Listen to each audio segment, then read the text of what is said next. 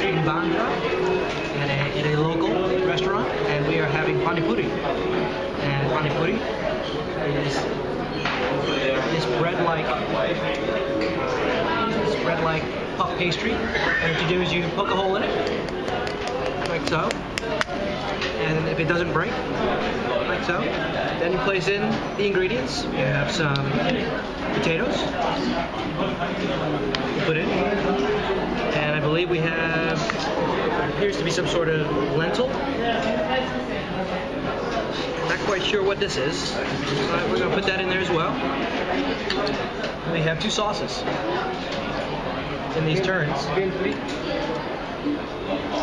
And we'll put some of the sauces in each. One of them is a hot sauce and one of them is a sweet sauce. It creates a sweet and sour sensation that explodes in one's palate. You place the entire pani puri inside your mouth as such.